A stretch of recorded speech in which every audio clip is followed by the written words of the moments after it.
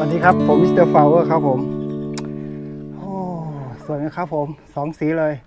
สีแดงกับสีขาวพิทูเนียครับพิทูเนีย อันนี้สีม่วงกับสีแดงครับผมโอ้เราปลูกแล้วมีความสุขนะครับ ผมปลูกพิทูเนีย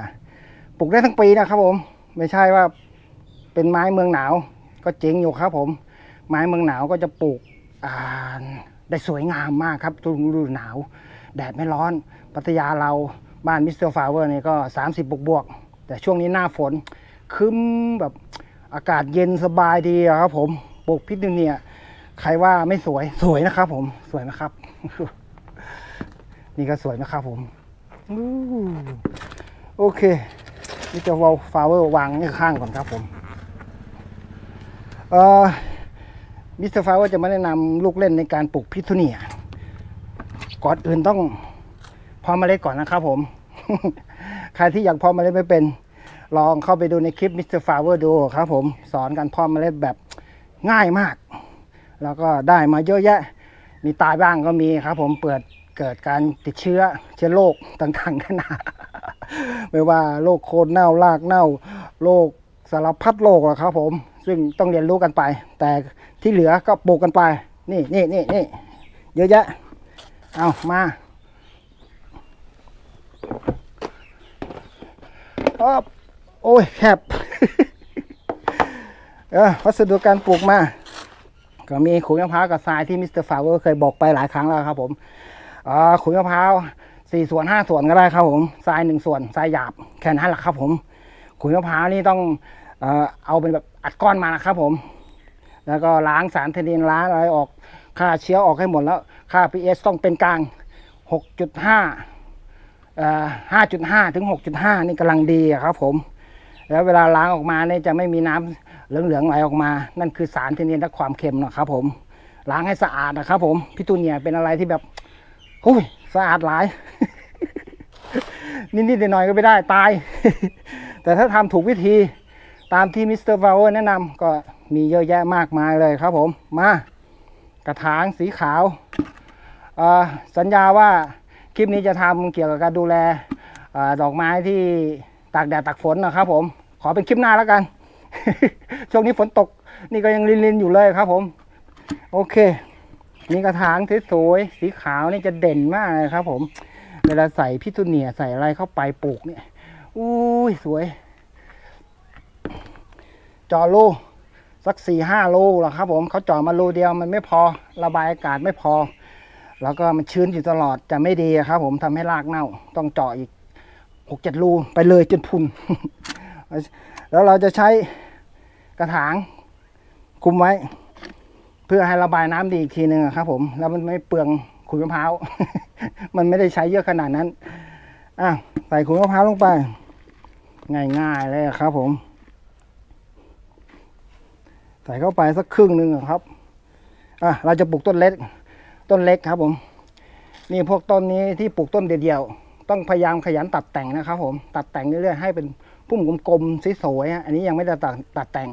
อชอบให้ปล่อยเป็นอย่างนี้ก่อน นี่ก็ต้นหนึงครับ ผมที่ปลูกกันอยู่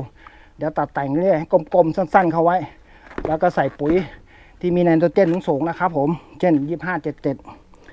เป็นปุ๋ยเม็ด แต่ถ้าปุ๋ยเกล็ดละลายน้ำก็สามสิบสิบสิบนี่ก็ได้ครับผม หรือว่ายี่ห้าเจ็ดยี่ห้าห้าห้าก็ได้ครับผม ถ้าบวกทีอีได้ยิ่งดี มาใส่เข้าไป ลูกเล่นในการปลูกพิทูเนียนี้ เยอะมากมายเลยครับผม มันไม่จำเจซ้ำซาก ถ้าต้นเดียวก็ดูสวยนะฮะ สีแดง เนี่ย โอ้โห เด่นเลย สวย ทางเข้าบ้านนี่เด่นเลย ตายไปก็ปลูกใหม่ได้ครับ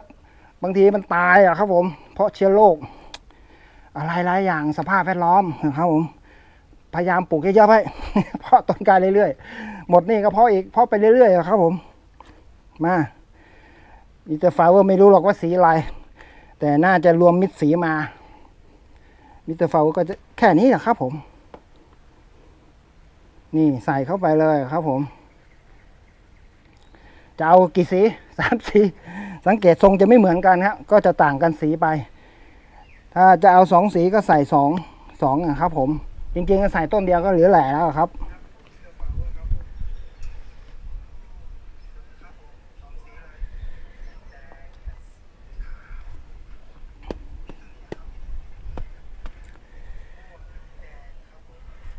นี่ครับผมสามสีเลย เดี๋ยวสักครู่ ขอไปครับผม พอดีถ่ายมือถือไปด้วยครับผม เพื่อ ก็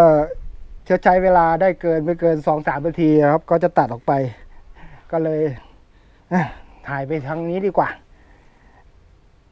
ไกกล้องนี่ดีกว่าครับผม นี่ครับผม ต่อไปก็จะได้สามสี แต่ว่า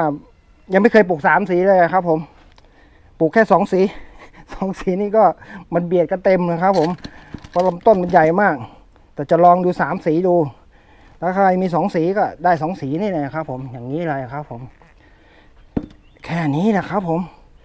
รดน้ำใส่ปุ๋ย เรื่อยๆ แล้วก็ตัดแต่งกิ่งไม่ได้ยากอะไรครับ ผม แต่เอาสีเดียวนี่ก็สวยนะครับ ผม แต่ว่าอืสองสีนี่ก็เท่นะ เท่เทเท อะโอ้ลืมใส่ปุ๋ยรองก้น แต่ใส่ตามหลังก็ได้ครับผม ปุ๋ยที่ใช้ก็เป็นปุ๋ยเม็ดนะครับ รอบๆกระถางก่อนเลย เพราะว่าในขุนมะพร้าวเราไม่มีธาตุอาหารใด ๆ เลย เราใช้ยี่ห้าเจ็ดเพื่อเน้นในตัวเจนนะครับผม แค่นี้นะครับ แล้วก็รดน้ำแต่ถ้าจะรองก้นก่อนก็ก็ก็ก็ดีมากเลยครับผม เนี่ยรดน้ำเลยเราประมาณ ถ้าไม่ตายซะก่อนก็ อีกเดือนหนึ่งแบบนี้อะครับผม ก็เพาะกันดูนะครับผม วิธีการเพาะพิทูเนียนี้ไม่ได้ยุ่งยากอะไรเลยมิสเตอร์ฟลาวเวอร์แนะนำมาจนแบบ โอ้ยหลายคลิปจนคนเบื่อ โอเคครับผม ขอบคุณมากครับที่รับชมมิสเตอร์ฟลาวเวอร์ครับปลูกง่าย